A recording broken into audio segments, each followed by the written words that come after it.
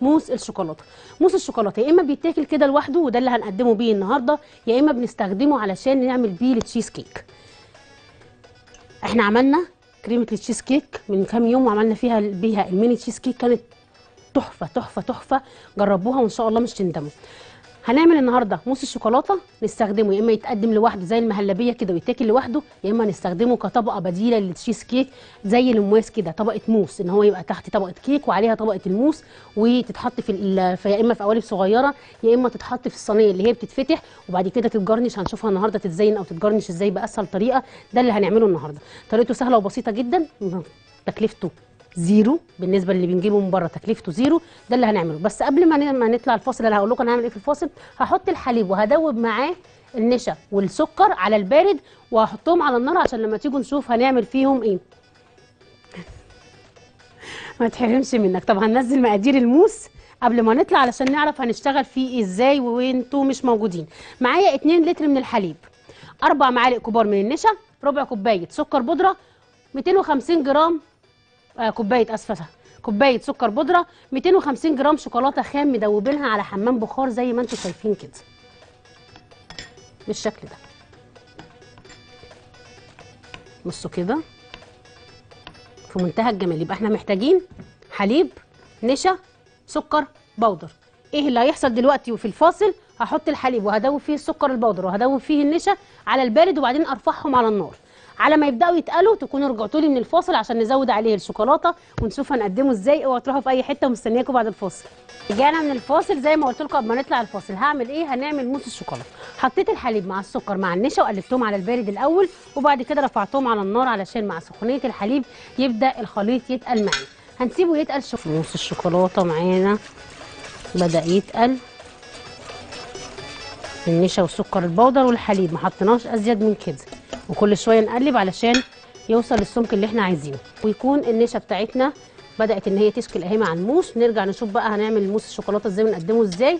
الحليب اللي إحنا قلنا عليه إن إحنا بنعمل منه موس الشوكولاتة حطينا عليه طبعا النشا والسكر ودوبناهم على البارد بعد كده رفعناهم على النار مع التقليب المستمر لحد ما الخليط ما بدأ يتقل معانا. رحت ضايفة له ال 250 جرام من الشوكولاتة الخام اللي وزابها على آه، حمام بخار.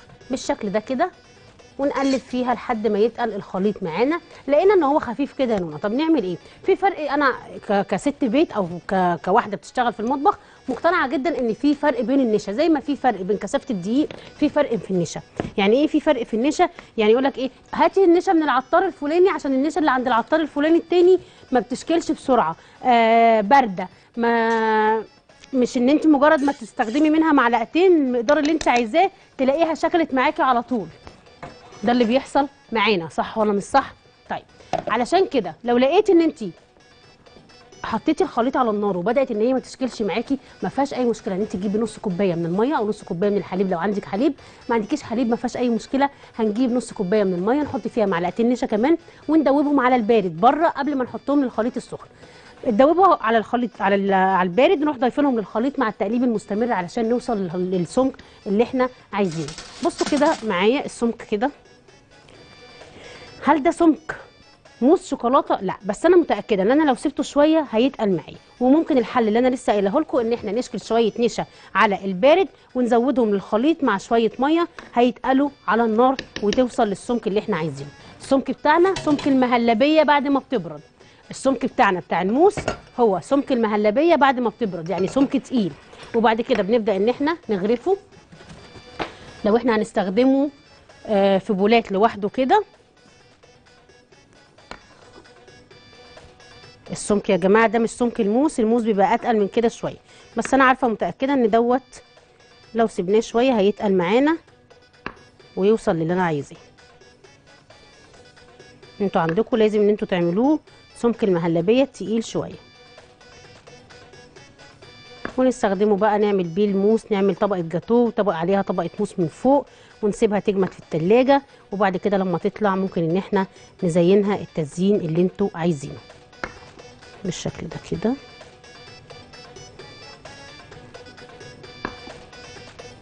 يتحط بقى في التلاجة بيتقدم بارد.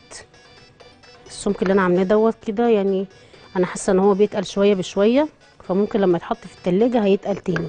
الوش بتاعه بدأ أهو ينشف معايا معنى كده إن هو هيتقل زيادة. نقرب كده.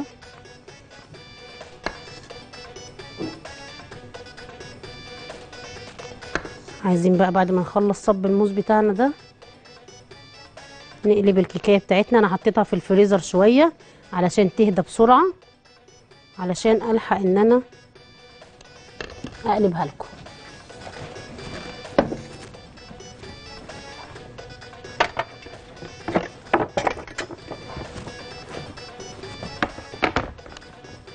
بسم الله الرحمن الرحيم.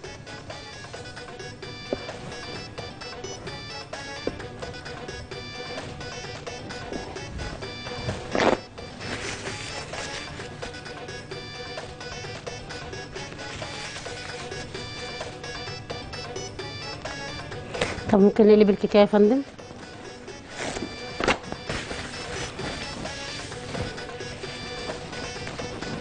كده؟ ممكن بقى إن إحنا ن...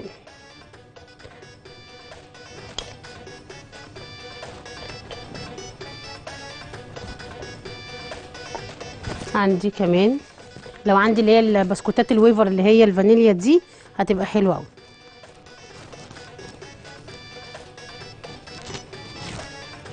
متهيألي مفيش أسهل ولا أطعم ولا أحلى من اللي إحنا عاملينه دوت. كده عملنا. أه هقول لك على حاجة. يا سلام. يا سلام.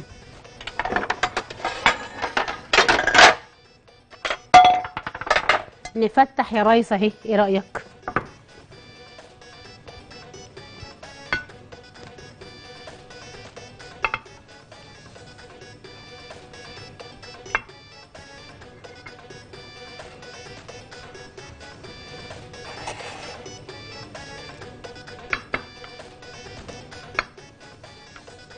ماشي كده؟